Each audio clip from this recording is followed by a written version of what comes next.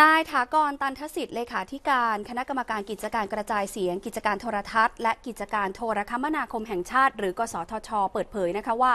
ที่ประชุมกสทช มีมติเห็นชอบ ให้นำคลื่นความถี่ 4 ย่าน ได้แก่ 700 เมกะเฮิรตซ์1,800 เมกะเฮิรตซ์2,600 เมกะเฮิรตซ์และ 26 กิกะเฮิรตซ์ออกประมูล เพื่อเปิดให้บริการ 5G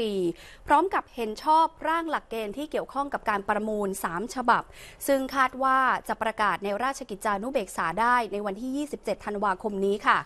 โดยทางสำนักงงาน กสทช ก็จะออกประกาศเชิญชวนผู้ประกอบการเข้าร่วมประมูล ในระหว่างวันที่ 2 มกราคมจนถึง 3 กุมภาพันธ์ 2563ผู้ประกอบการยื่นเอกสารประมูลวันที่ 4 กุมภาพันธ์ ตรวจสอบคุณสมบัติผู้เข้าร่วมประมูลในระหว่างวันที่ 5 ถึง 12 กุมภาพันธ์ และเปิดการประมูลในวันที่ 16 กุมภาพันธ์ 2563 คาดว่าจะสามารถออกใบอนุญาต ให้บริการโครงข่าย 5G ได้ภายในเดือนกุมภาพันธ์ 2563 นะคะ โดยผู้รับใบอนุญาตสามารถติดตั้งระบบโครงข่ายได้ตั้งแต่เดือนมีนาคมเป็นต้นไป ซึ่งถ้าเป็นไปตามแผนนี้ก็คาดว่าในช่วงเดือนมิถุนายน จนถึงกรกฎาคมปี 2563 จะเริ่มนำร่องเปิดให้บริการ 5G แบบเต็มรูปแบบได้ทันที ในพื้นที่ EEC และย่านใจกลางเมือง ก่อนที่จะมีการขยายไปยังพื้นที่อื่น ๆ ต่อไปค่ะ สำหรับคลื่นความถี่ 5G ทั้ง 4 ย่านนะคะ ประกอบไปด้วยย่าน 700 เมกะเฮิรตซ์จำนวนคลื่นความถี่ที่นำมาประมูล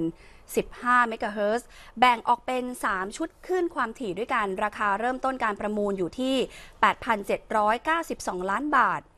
คลื่นความถี่ย่าน 1,800 เมกะเฮิรตซ์จำนวนคลื่นความถี่ที่นำมาประมูล 35 เมกะเฮิรตซ์แบ่งออกเป็น 7 ชุดคลื่นความถี่ ราคาเริ่มต้นการประมูลอยู่ที่ 12,486 ล้านบาท คลื่นความถี่ย่าน 2,600 เมกะเฮิรตซ์จำนวนคลื่นความถี่ที่นำมาประมูล 190 เมกะเฮิรตซ์แบ่งออกเป็น 19 ชุดคลื่นความถี่ค่ะ ราคาการเริ่มต้นประมูลอยู่ที่ 1,862 ล้านบาท